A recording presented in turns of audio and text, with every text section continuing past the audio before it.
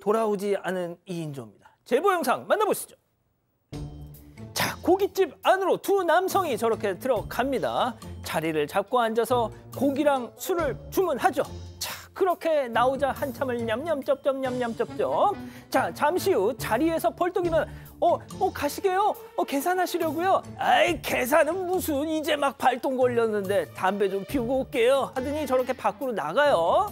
자, 진짜로 담배를 피우나 싶더니 갑자기 갑자기 담배를 피우나 싶더니 휙 그냥 지네 집으로 갑니다. 예. 이제 말이죠. 식사 도중에 나가서 담배 피우는 거 못하도록 해야 할 것 같아. 먹튀하는 인간들 열의 일곱이 담배 핑계 대고 나가서 튀어버립니다. 그러니까요. 왜 이렇게 먹튀가 정말 많죠? 경기도 파주의 한 고깃집에서 발생한 먹튀 사건인데요. 저 둘 중에 한 분은 또 자주 오는 고객이었대요. 그래서 사장님께서 얼굴이 매우 익숙한 얼굴이다라고 생각을 해서 그렇게 별로 의심하지 않았고요. 18일에 가게에 와서 소주 두 병, 맥주 한 병을 시켰고 고기까지 4만 4천 원을 먹었다고 합니다. 그렇게 많은 돈도 아닌데 얼굴 다 저렇게 공개되고 왜 저런 선택을 하는지 모르겠는데 둘 중에 한 명이라도 좀 정신을 차리고 당연히 지불을 해야 되는데 지불하지 않고 둘이 같이 저렇게 가버렸어요. 중간에 나가려고 하길래 직원이 오셔서 혹시 계산하실 거예요? 라고 얘기했더니 아니에요 라고 얘기하면서 담배 필것 같이 나갔죠. 그러고 나서는 저렇게 자연스럽게 나갔습니다. 지금 사장님께서 얘기하시기를 자영업자들 요즘 너무 어렵다. 피해가 뭐 소액이긴 하지만 너무 의도적이라서 아주 괘씸해서 제보하게 됐다라고 밝히셨습니다.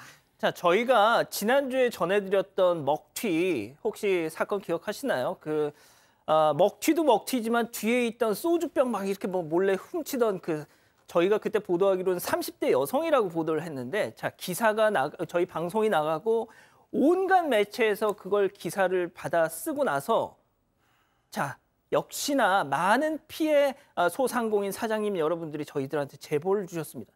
그 같은 일당에게 당했던 어, 그 피해자들이 저희한테 연락을 주셨어요. 자, 그렇게 되니까 결국 그 범인들도 저희에게 친구를 통해서 연락을 했습니다. 자기들 어, 돈 갚고 사장님한테 사죄를 하겠다고 말이죠. 자, 지금 이렇게 저희가 먹튀 영상 자주 보내드리지만, 아, 자, 양 변호사님, 결국은 말이죠. 이렇게 됩니다. 어? 그리고 이 저런 영상에 아무리 저희가 뭐 가림막을 하기도 하고 하더라도 또 아름아름을 알아보는 분들도 있을 수가 있고요. 그 돈이 얼마나 큰 돈인지 아니면 진짜 진짜 진짜 돈이 없는데 배가 고팠는지 그런 사연으로 보이는 사연은 저희가 소개도 안 해드리잖아요. 그 진짜 요즘 소상공인분들 어렵다는 얘기 많이 들으셨을 거예요. 조금만 더 생각해 주시고 그 순간에 어떻게 보면 자기의 이만큼의 그 즐거움 때문에 얼마나 다른 일을 하시는 분이 고통받는지 생각한다면 음식 이 목으로 안 넘어갈 겁니다.